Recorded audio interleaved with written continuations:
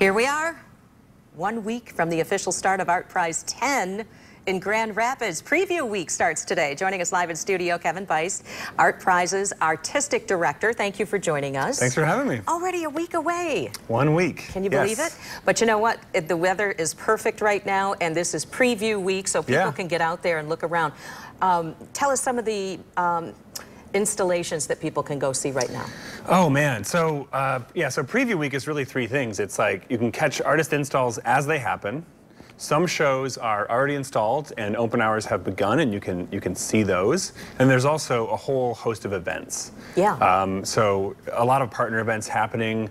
Uh, Meijer Gardens and the Grand Rapids Art Museum both have member openings this week. So if you're not a member, become a member.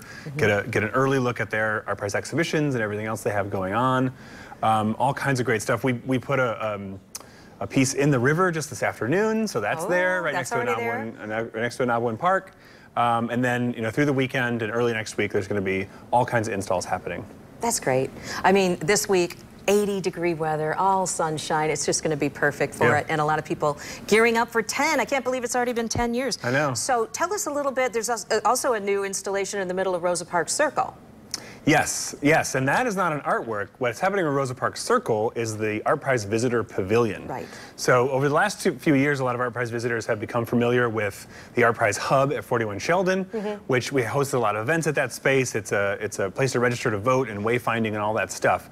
Um, we're not doing so much there at 41 Sheldon. Instead, we're putting all the action right in the middle of town in Rosa Parks Circle, right in front of the Grand Rapids Art Museum. And so we're going to erect this giant tent, which I think you saw on the screen there, um, which is going to keep our events dry, even if it's raining. Things are still going to be happening down there.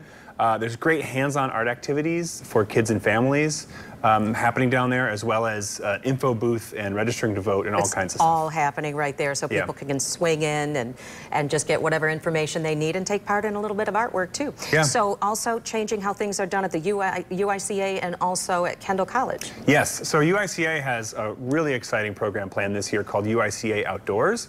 And what they've done is they've partnered with um, different community groups in various neighborhoods. And so rather than curating an exhibition for ArtPrize inside their gallery space at Fulton and Division, instead they're doing um, a number of sort of community-based murals all over the city. And so there's some on the west side, there's one in Creston. There's one um, actually way out in the southeast side in the Baxter neighborhood. So outside of the normal footprint of ArtPrize, uh, but some really amazing permanent murals going in as, as a part of this project. That's great too. Volunteers still needed? Volunteers are still needed Always, always. Yes, go to artprize.org and you can find out how to volunteer. There's lots of great shifts. Uh, the volunteer lounge is amazing this year and lots of fun stuff happening there. Okay, so get involved too. Um, thanks for joining us. We'll be talking with you several times through ArtPrize, I'm sure. I look forward to it. Yeah, thank you.